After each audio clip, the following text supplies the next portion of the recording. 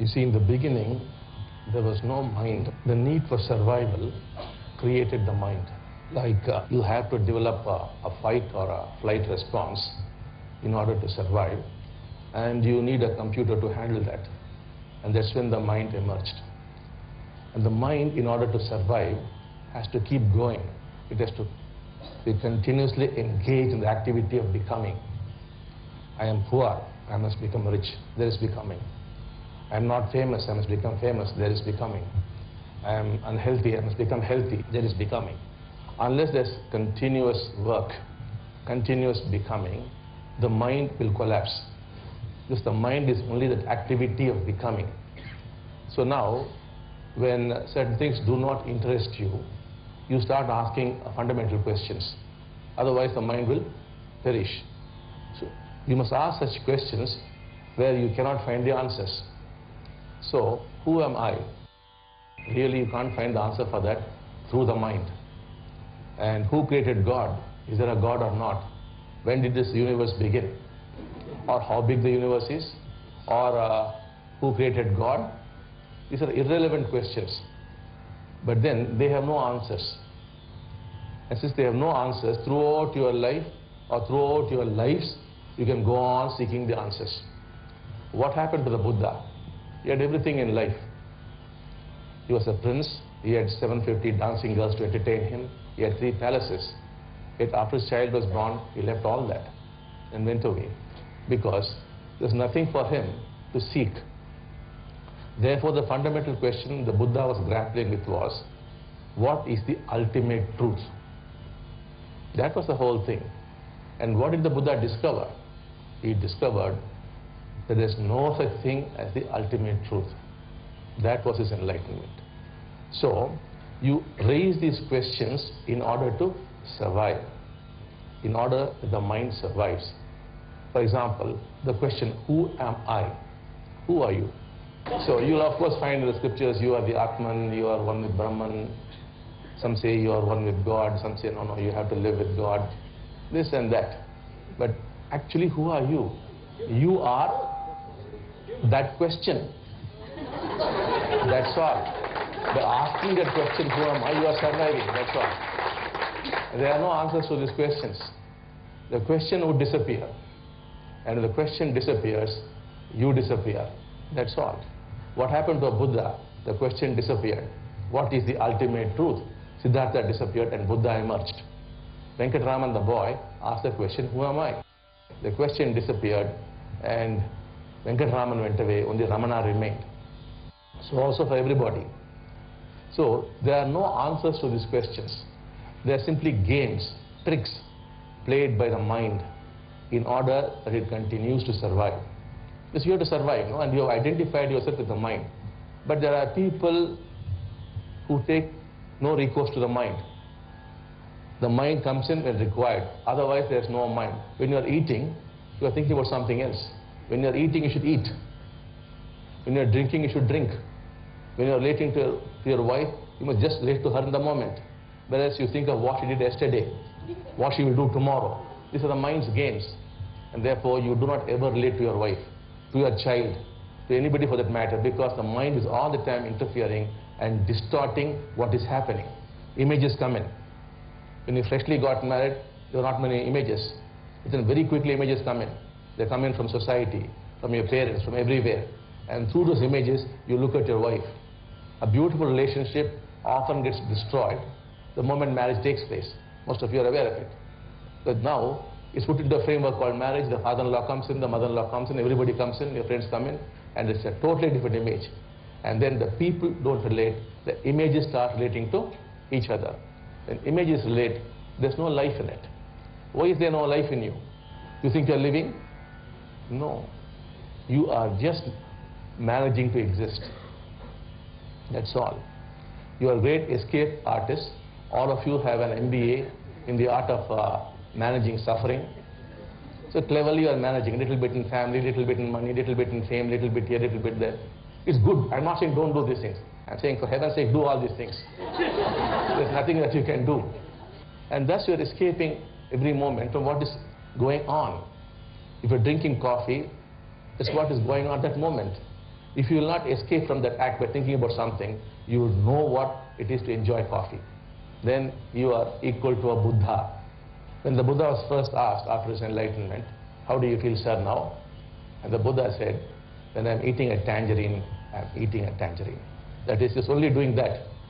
The mind was switched off. Only people in whom the mi- mind has been switched off, where thought has ceased, only they can say, I am living. Because what is thought? Thought is a flow of memory. And what is memory? Memory is always of yesterday. And what is yesterday is always dead. So death is flowing through you. That's all. And if you are to die to the past, that is real death.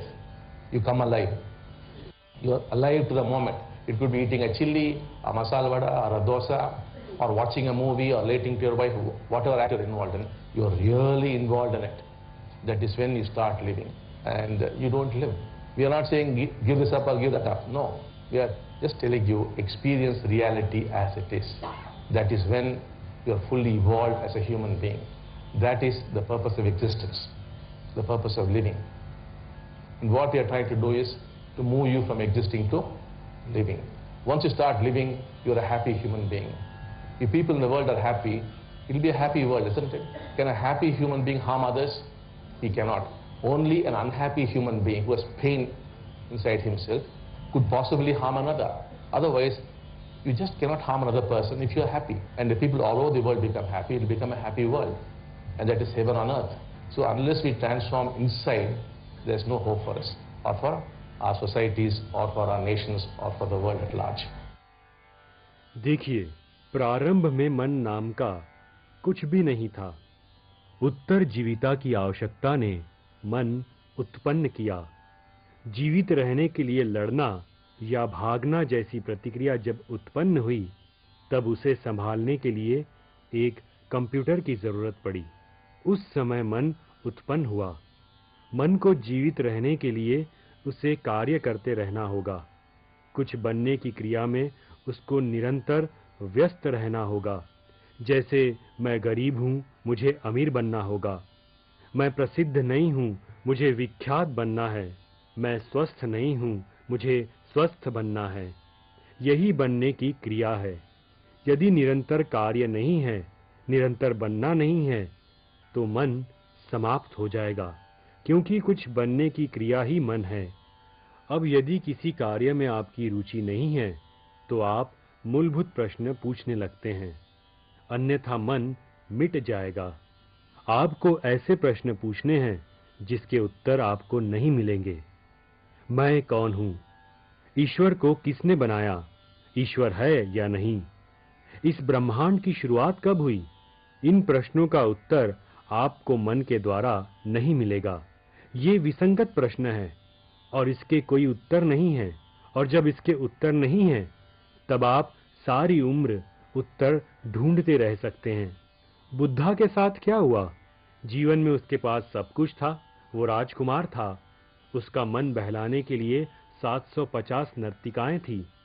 उसके तीन महल थे। इसके बावजूद उसके बेटे के जन्म के पश्चात उन सबसे विरक्त होकर घर छोड़ दिया, क्योंकि चाहने के लिए उसके पास कुछ बाकी नहीं था। इसलिए बुद्धा मूलभूत प्रश्न पूछने लगे। कि परम सत्य क्या है? बुद्धा ने किसकी खोज की? उन्होंने ये पाया कि परम सत्य जैसा कुछ नहीं है। वही उसका ज्ञानोदय था। आप मन को जीवित रखने हेतु ऐसे निराधार प्रश्न पूछते हैं। उदाहरण के लिए, मैं कौन हूँ? आप कौन हैं? आप सभी ने ये प्रश्न कभी ना कभी किया होगा कि मैं कौन हूँ।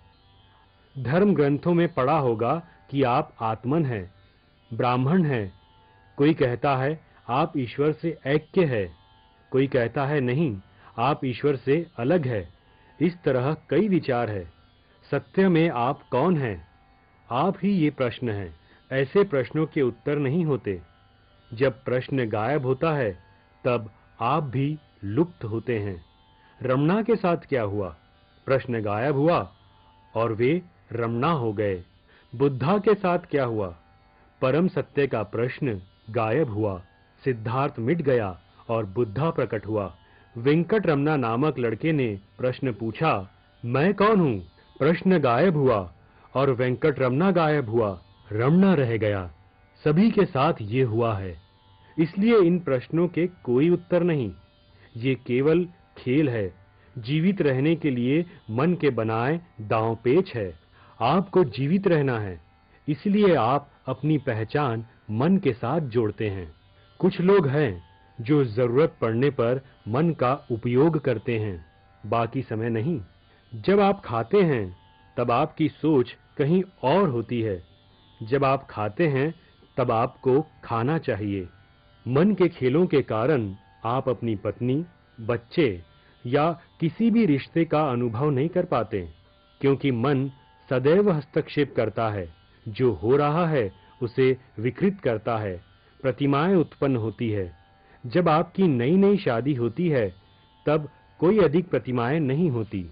फिर आने लगती है। समाज से, आपके माता-पिता से, रिश्तेदारों से शीघ्र प्रतिमाएँ उत्पन्न होती है और इन प्रतिमाओं के द्वारा आप अपनी पत्नी को देखते हैं। एक सुंदर रिश्ते को ये प्रतिमाएँ बर्बाद कर देती है। व्यक्ति से रिश्ता न रहकर प्रतिमाएँ एक दूसरे से संबंध जोड़ लेती है और अब प्रतिमाओं का संबंध जुड़ने लगता है, तब रिश्ते मुरझा जाते हैं। आप में प्राण क्यों नहीं है? जीवन क्यों नहीं है? क्या आप सोचते हैं कि आप जी रहे हैं? नहीं, आप अस्तित्व में रहने के लिए जैसे तैसे चला रहे हैं। आप भगोड़े कलाकार हैं। दुख को संभालने की कला में आप एमबीए कर चुके हैं। मैं ये नहीं कह रहा हूँ कि ऐसा मत कीजिए। मैं कह रहा हूँ, ऐसा कीजिए। आपको ये जानना है कि आप कुछ नहीं कर सकते। यदि आप जो कार्य कर रहे हैं, उस पर संपूर्ण ध्यान देंगे और सोच की क्रिया में नहीं बहेंगे, तब आप बुद्धा के समान होंगे। ज्ञानोदय के पश्चात पहली बार बुद्धा से जब ये पूछा गया, अब आप कैसा महसूस कर रहे हैं? तब बुद्धा ने कहा, जब मैं संतरा खा रहा हूँ, तब मैं संतरा खा रहा हूँ। वे वही कर रहे हैं।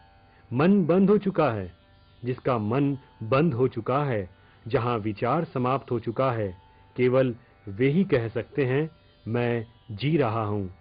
विचार क्या है? विचार यादों का बहाव है। और ये स्मृति या यादें क्या है? स्मृति सदैव भूतकाल है। भूतकाल क्या है? वो सदैव मृत अवस्था है। आप सभी में मृत्यु बह रही है। यदि भूतकाल की मृत्यु होगी, तभी आप जीवित हो जाएँगे। आप उस समय जो भी करते हैं, आप उसमें वास्तव में सम्मिलित होते हैं। ये तब होता है जब आप जीने की शुरुआत करते हैं। हम ये नहीं कहते कि ये छोड़ो या वो छोड़ो। हम केवल इतना कहते हैं कि जो वास्तविकता है, उसे अनुभव करो। ये तब होगा जब आप पूरी तरह से विकसित मानव होंगे। यही अस्तित्व का, जीने का उद्देश्य है। हम आपको आपके अस्तित्व से जीवित अवस्था में ले जा रहे हैं। जब आप जिएँगे, तब आप खुश रहेंगे। दुनिया के लोग खुश रहेंगे तो ये दुनिया भी खुशी से भर जाएगी। वही पृथ्वी पर अवतरित हुआ स्वर्ग होगा। जब तक हम भीतर से परिवर्तित नहीं होते, हमारे लिए कोई आशा नहीं। हमारे समाज, राष्ट्र या विश्व के लिए भी कोई आशा नहीं।